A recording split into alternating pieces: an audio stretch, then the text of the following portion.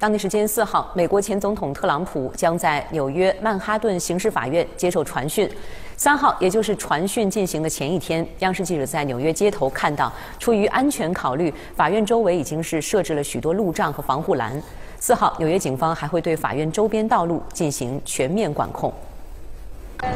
我身后就是纽约曼哈顿刑事法院，在当地时间的四月四号，美国前总统特朗普将在这里接受传讯。据当地媒体报道，为了应对这场传讯的到来，纽约市计划在四号当天封闭曼哈顿下城的多条主干道，而法院周边的道路也将被进行全面的管控。就在刚刚，我看到法院大楼周边已经做好了防护措施。不光是在法院周围，距离法院不远的纽约市议会也被做了严密的防护。整个建筑被防护栅栏围了三层。之所以这样戒备森严，是因为特朗普上月曾在社交媒体平台上称，一旦自己遭到起诉，美国可能会出现死亡与毁灭的场景。他还要求支持者组织抗议，这与2021年1月6号国会山骚乱事件前的动员如出一辙。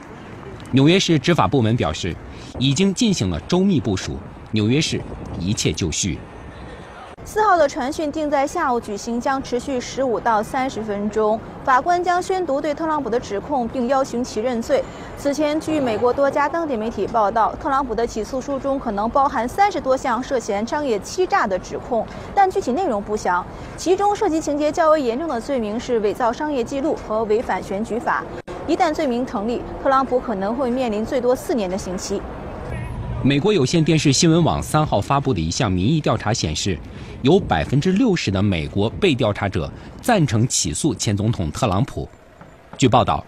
特朗普已经于当地时间三号下午抵达纽约，在四号接受传讯后，他将返回佛罗里达州的海湖庄园，在那里向其支持者发表讲话。